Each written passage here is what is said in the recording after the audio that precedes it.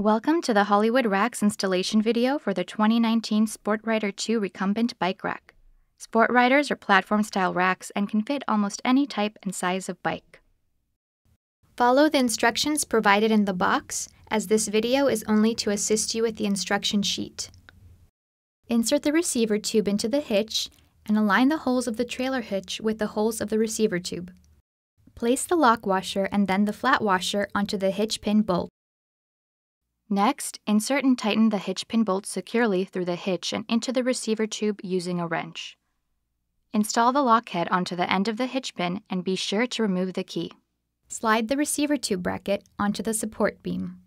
Align the outer holes and install the attached snapper pin and clip. Next, install the half-inch bolt and washer. Tighten the nut and bolt securely. You can adjust tightness on indicated nut using an adjustable wrench so that the support beam fits snug inside the folding bracket. Do not over-tighten or the fold-up feature will be difficult to use. Slide the wheel tube over the post with the square holes facing up. Install wheel tube hardware, tighten, and secure.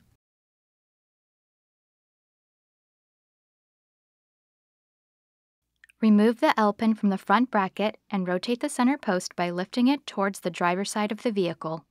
Insert the L-pin into the lower hole to secure its vertical position. Before installing, make sure the lock is in the vertical unlocked position. Position the wide frame hook on top of the square post with the hook facing the vehicle. Push the release button in and slide the frame hook down onto the post. The release button should be pushed in when installing the hook onto the post. Repeat the same action for the short hook, except face the short hook away from the vehicle. Install the wheel trays by loosening the knobs and sliding them onto the wheel tubes. Use a Phillips screwdriver to install the stop screws into the bottom of the wheel tubes.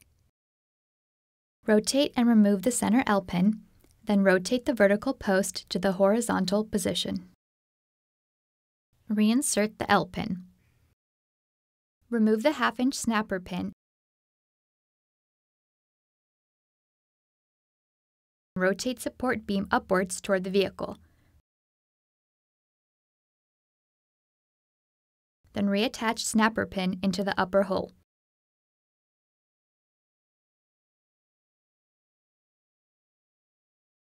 Remove the large half-inch snapper pin. Next, remove the smaller snapper pin and gently lower the support beam while holding the rack up.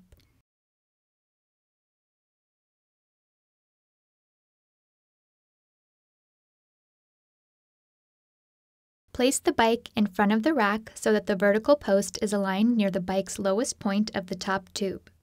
Adjust the inside wheel holders so they align with the bike's wheels. Place the bike onto the wheel holders and make final wheel holder position adjustments if necessary. Tighten knobs securely. Push down on the plastic housing of the frame hook onto the bike's frame. Do not overcompress the hook onto the frame. Tighten the Velcro straps around the bike's wheels.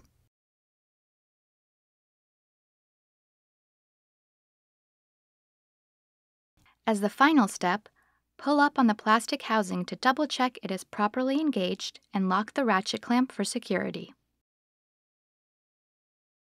The lock should be in the horizontal position. When carrying two bikes, the handlebars must be staggered. Try to place the heaviest bike closest to the vehicle. Repeat the steps for the second bike.